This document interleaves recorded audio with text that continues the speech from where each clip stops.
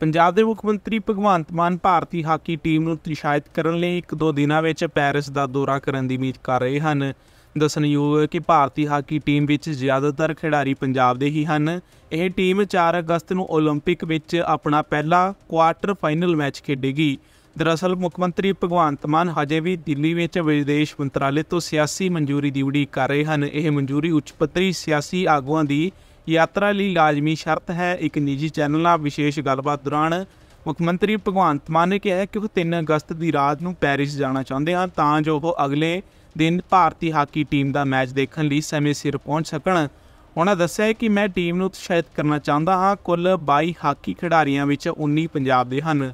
ਮੈਨੂੰ ਪੰਜਾਬ ਦੇ ਇਹਨਾਂ ਮੁੰਡਿਆਂ ਤੇ ਬਹੁਤ ਮਾਣ ਹੈ। ਇੱਕ ਵਿਸ਼ੇਸ਼ ਦਸਤਾਵੇਜ਼ ਦਾ ਹਵਾਲਾ ਦਿੰਦੇ ਹੋਏ ਮਾਨੀ ਗਿਆ ਕਿਹਾ ਕਿ ਮੇਰੇ ਕੋਲ ਲਾਲ ਰੰਗ ਦਾ ਡਿਪਲੋਮੈਟਿਕ ਪਾਸਪੋਰਟ ਹੈ, ਇਹ ਦਸਤਾਵੇਜ਼ ਸੀਨੀਅਰ ਸਿਆਸੀ ਨੇਤਾਵਾਂ ਲਈ ਹੈ, ਜੋ ਉਹਨਾਂ ਨੂੰ ਦੁਨੀਆ ਦੇ ਕਿਸੇ ਵੀ ਦੇਸ਼ ਦਾ ਵੀਜ਼ਾ ਲੈਣ ਦੀ ਗਰੰਟੀ ਦਿੰਦਾ ਹੈ। ਇਸ ਦਾ ਮਤਲਬ ਹੈ ਕਿ ਮੈਂ ਰਿਕਾਰਡ ਸਮੇਂ ਵਿੱਚ ਫਰਾਂਸ ਦਾ ਵੀਜ਼ਾ ਪ੍ਰਾਪਤ ਕਰ ਸਕਦਾ ਹਾਂ, ਪਰ ਮੇਰੇ ਅਧਿਕਾਰੀ ਸਿਆਸੀ ਮਨਜ਼ੂਰੀ ਲਈ ਦਿੱਲੀ ਵਿੱਚ ਵਿਸ਼ੇਸ਼ ਮੰਤਰਾਲੇ ਵਿੱਚ ਕਈ ਘੰਟਿਆਂ ਤੋਂ ਉਡੀਕ ਕਰ ਰਹੇ ਹਨ। ਮੇਰੀ ਪ੍ਰਸਤਾਵਿਤ ਉਡੀਕ ਲਈ 2 ਦਿਨ ਬਾਕੀ ਹਨ ਅਤੇ ਹਜੇ ਮਨਜ਼ੂਰੀ ਨਹੀਂ ਮਿਲੀ ਹੈ। ਪੰਜਾਬ ਕਾਂਗਰਸ ਦੇ ਸਾਬਕਾ ਪ੍ਰਧਾਨ Navjot Sidhu, Bigg Boss OTT 3 ਵਿੱਚ ਜਾ ਸਕਦੇ ਹਨ। ਨਵਜੋਤ ਸਿੱਧੂ ਨੇ ਇਸ ਦੀ ਜਾਣਕਾਰੀ ਆਪਣੇ ਸੋਸ਼ਲ ਮੀਡੀਆ, ਫੇਸਬੁੱਕ ਅਕਾਊਂਟ ਤੇ ਇੱਕ ਪੋਸਟ ਸਾਂਝੀ ਕਰਦਿਆਂ ਲਿਖੀ ਹੈ। ਉਹਨਾਂ ਨੇ ਇੱਕ ਤਸਵੀਰ ਸਾਂਝੀ ਕੀਤੀ ਹੈ, ਜਿਸ ਦੀ ਕੈਪਸ਼ਨ 'ਚ ਲਿਖਿਆ ਹੈ, major Sidhu in Bigg Boss, dream come true. ਜ਼ਿਕਰਯੋਗ ਹੈ ਕਿ ਬਿਗ ਬੌਸ OTT 3 ਦਾ 3 ਅਗਸਤ ਨੂੰ ਫਾਈਨਲ ਐਪੀਸੋਡ ਹੈ, ਸ਼ੋਅ ਦੇ ਫਾਈਨਲੇ ਲਈ ਮੇਕਰਸ ਨੇ ਪੂਰੀ ਤਿਆਰੀ ਕਰ ਲਈ ਹੈ। ਅਨਿਲ ਕਪੂਰ ਵੀ ਸ਼ੋਅ ਵਿੱਚ ਪੂਰੇ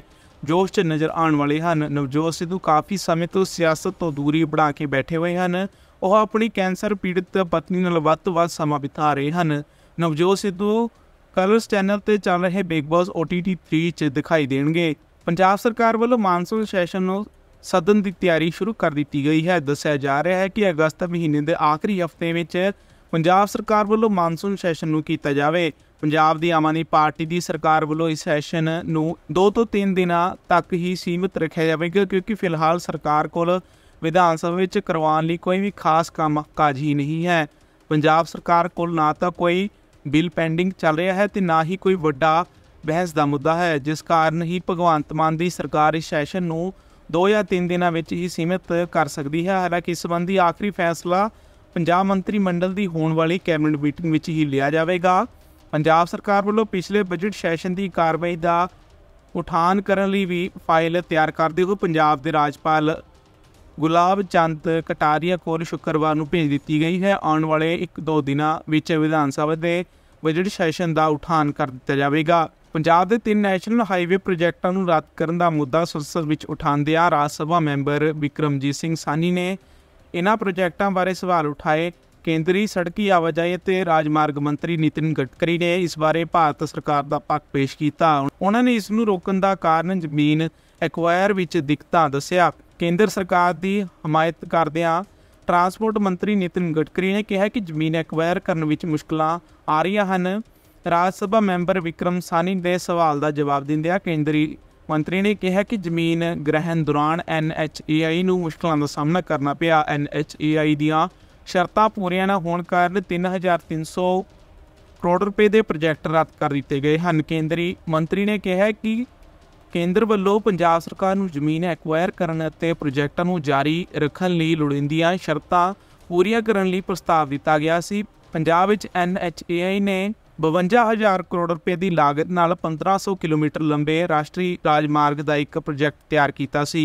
NHAI ਪਹਿਲਾਂ ਵੀ ਪੰਜਾਬ ਸਰਕਾਰ ਦੇ ਅਧਿਕਾਰੀਆਂ ਤੇ ਢਿੱਲੇ ਰਵੱਈਏ ਤੇ ਦੋਸ਼ ਲਗਾ ਚੁੱਕੀ ਹੈ। ਉਹਨਾਂ ਨੇ ਸੂਬਾ ਸਰਕਾਰ ਪ੍ਰਤੀ ਆਪਣੀ ਨਾਰਾਜ਼ਗੀ ਵੀ ਜ਼ਾਹਰ ਕੀਤੀ ਹੈ। NHAI ਨੇ 3300 ਕਰੋੜ ਰੁਪਏ ਦੇ ਤਿੰਨ ਪ੍ਰੋਜੈਕਟ ਲੁਧਿਆਣਾ, ਰੋਪੜ, ਖਰੜ, ਦੱਖਣੀ, ਲੁਧਿਆਣਾ ਬਾਈਪਾਸ, ਅੰਮ੍ਰਿਤਸਰ ਤੋਂ ਟਾਂਡਾ ਪ੍ਰੋਜੈਕਟ ਨੂੰ ਰੱਦ ਕਰਨ ਦਾ ਫੈਸਲਾ ਕੀਤਾ ਸੀ। ਸ਼੍ਰੋਮਣੀ ਅਕਾਲੀ ਦਲ ਦੇ ਸੀਨੀਅਰ ਆਗੂ ਹਰਸਿਮਰਤ ਕੌਰ ਬਾਦਲ ਨੇ ਸ਼ੁੱਕਰਵਾਰ ਨੂੰ ਮੰਗ ਕੀਤੀ ਹੈ ਕਿ ਏਮਜ਼ ਬਠਿੰਡਾ ਵਿਖੇ 300 ਬੈੱਡ ਦਾ ਟਰੋਮਾ ਸੈਂਟਰ ਸਥਾਪਿਤ ਕਰਨ ਦੀ ਪ੍ਰਵਾਨਗੀ ਦਿੱਤੀ ਜਾਵੇ। ਮਾਨਸਾ ਵਿੱਚ ਸੰਸਥਾ ਦਾ ਸੈਂਟਰ ਖੋਲ੍ਹਿਆ ਜਾਵੇ ਤੇ ਫਿਰੋਜ਼ਪੁਰ ਵਿੱਚ ਪੀਜੀ, ਏਪੀਆਰ ਸੈਟੇਲਾਈਟ ਸੈਂਟਰ ਤੇਜ਼ ਰਫ਼ਤਾਰ ਨਾਲ ਮੁਕੰਮਲ ਕੀਤਾ ਜਾਵੇ। ਇੱਕ ਵਿਸਥਾਰਿਤ ਭਾਸ਼ਣ 'ਚ ਹਰਸਿਮਰਤ ਕੌਰ ਬਾਦਲ ਨੇ ਸੰਸਦ ਨੂੰ ਦੱਸਿਆ ਕਿ ਇਹ ਇੱਕ ਤੱਥ ਹੈ ਕਿ ਰੋਜ਼ਾਨਾ 2500 ਮਰੀਜ਼ ਏਮਜ਼ ਬਠਿੰਡਾ ਵਿੱਚ ਪਹੁੰਚਦੇ ਹਨ, ਕਿਉਂਕਿ ਇਹ ਦੋਸ਼ ਨੈਸ਼ਨਲ ਹਾਈਵੇ ਤੇ ਸਥਿਤ ਹੈ ਇੱਥੇ ਰੋਜ਼ਾਨਾ ਅਨੇਕਾਂ ਸੜਕ ਹਾਦਸੇ ਹੁੰਦੇ ਹਨ ਜਦੋਂ ਕਿ ਸੰਸਥਾ ਦੇ ਐਮਰਜੈਂਸੀ ਵਾਰਡ ਵਿੱਚ ਸਿਰਫ 28 ਬੈੱਡ ਹਨ सर एक कहावत है कि जान है तो जहान है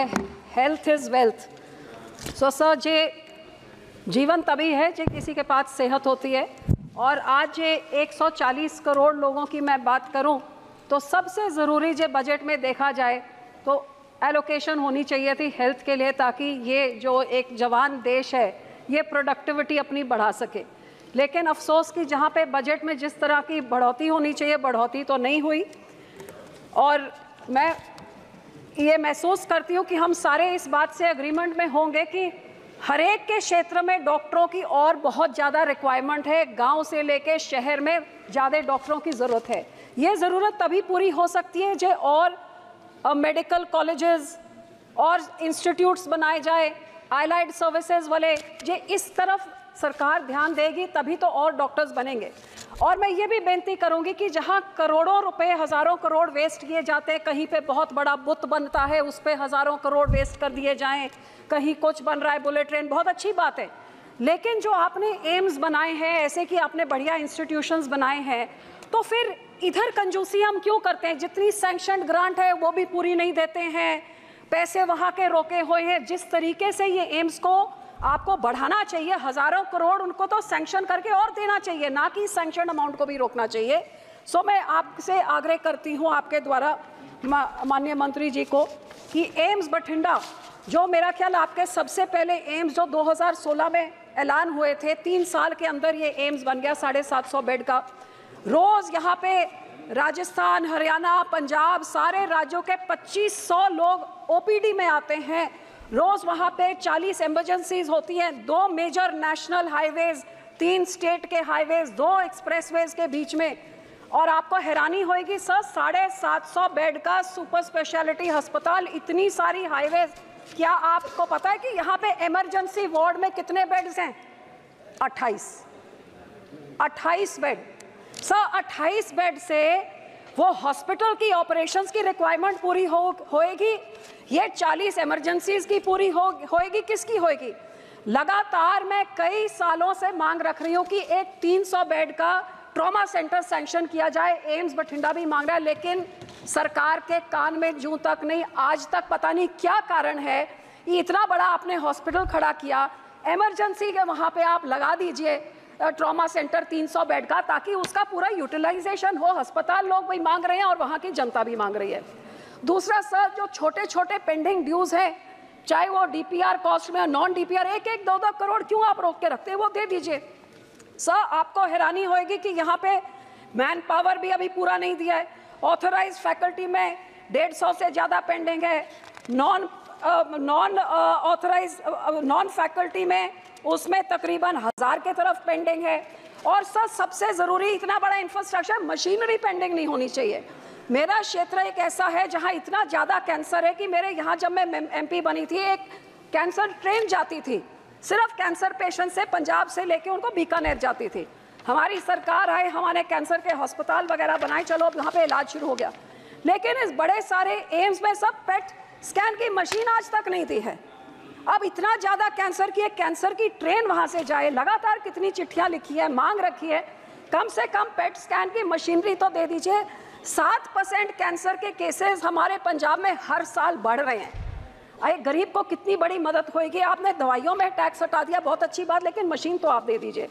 और इसमें सबसे ज़्यादा पीड़ित औरतों, जिनका ब्रेस्ट और सर्वाइकल कैंसर सबसे ज़्यादा है तकरीबन तेईस हज़ार डेथ्स हर साल होती हैं। सो ये मैं मांग करती हूँ दूसरी sir high end ICU ventilators आपको हैरानी होगी मेरी पूरी कॉन्स्टिट्यूंसी में किसी अस्पताल में एक वेंटिलेटर वाली एंबुलेंस तक भी नहीं है जो लोगों को नज़दीक के साथ में जहाँ पे भी उनको हेल्थ केयर मिल सकता है। सो so, इसे एम्स में high end ventilator for the hospital और एक ambulance with a ventilator sir दूसरा मुझे इस बात का मान है कि हमारे इस अस्पताल ने already live donor kidney transplant शुरू कर दिया है और वहाँ पे अस्पताल ने लिख के भेजा है कि इनको दे दी जाए जो S O T T O state organ tissue transplant जो इनको मातवता देती है, ये दे दी ताकि ये हार्ट में भी शुरू हो जाए। ये पेंडिंग कब से पड़ा हुआ है? नेशनल के साथ मैं विनती करती हूँ डॉक्टर मंत्री जी को कि ये दिलवा दीजिए। सब बाकी जो दूसरी चीज़ें हैं कि वहाँ पे डॉक्टरों के रहने का स्टाफ अकोमोडेशन अभी तक नहीं बना है हॉस्टल में कमरे कम हैं।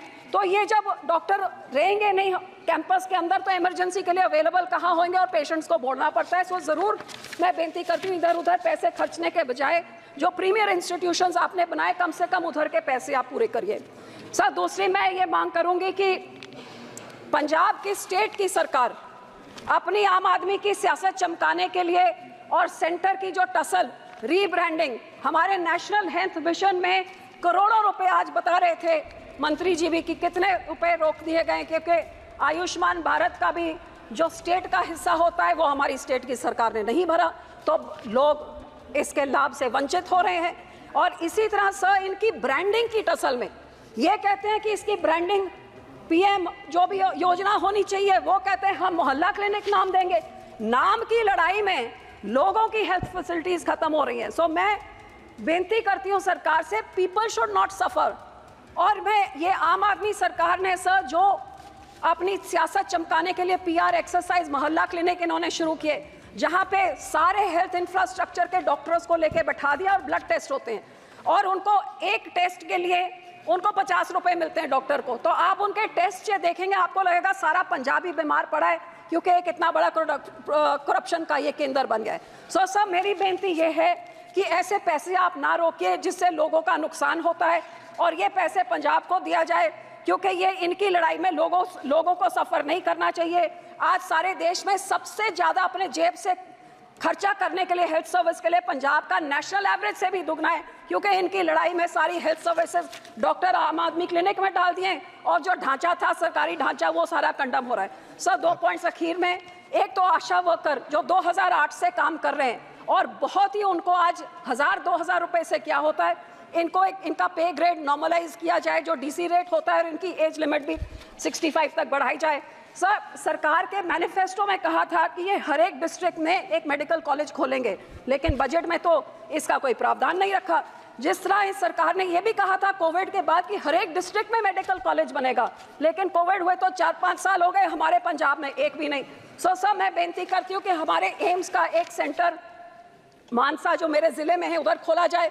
फिरोजपुर में जो पीजीआई सैटेलाइट सेंटर 2013 में सैंक्शन हुआ था दो बार ही उसका नींव पत्थर रख दिया गया है लेकिन 10 साल बाद आज तक बिल्डिंग भी नहीं खड़ी हुई है। सो मैं सरकार से यह भी बेनती करती हूँ कि वो जो आपने सैंक्शन किया कम से कम उन प्रोजेक्ट्स को कंप्लीट करिए जो आप लोगों की हेल्थ की तरफ़ आप सुगिर्द हैं। और सर इसी तरह एक मेडिकल इंश्योरेंस और लाइफ इंश्योरेंस जो छोटे शॉपकीपर दुकानदार होते हैं छोटे बिज़नेस वाले जो जीएसटी में कंट्रीब्यूट करते हैं। उनके लिए कोई ऐसे की इंश्योरेंस स्कीम लेके आए क्योंकि एक बीमारी आती है सारी उनकी कमाई तबाह हो जाती है। सो मैं आपकी आपके तरफ़ से मैं उनको करती हूँ और ये ज़रूर की एम्स बठिंडा के सारा कुछ उनका सैंक्शन ड्यू है। और सबसे पहले ट्रॉमा सेंटर ज़रूर सात साल से मैं मांगी जा रही हूँ मैं उम्मीद करते हैं जल्दी कर।